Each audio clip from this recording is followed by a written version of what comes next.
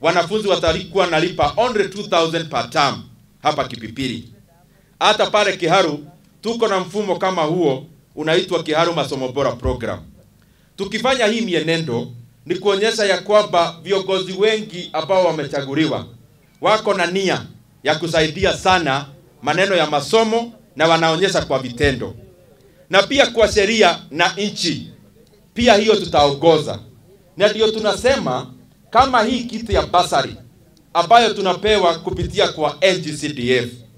Mimi kama kwenye niko tunajadiliana na viongozi wengi, ndio hii basari ipeanwe na kitu inaitwa per capita allocation.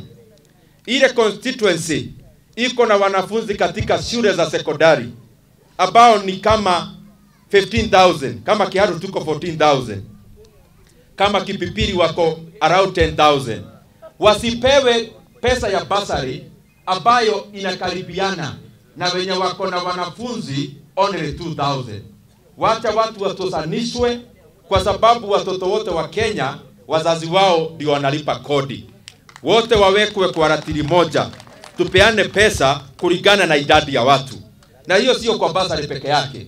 Kwa maendeleo na tumejadiliana hata na viongozi wetu. Ile maneno inaitwa one man one vote one shilling hiyo pia tunaweka ikuwe katika sheria.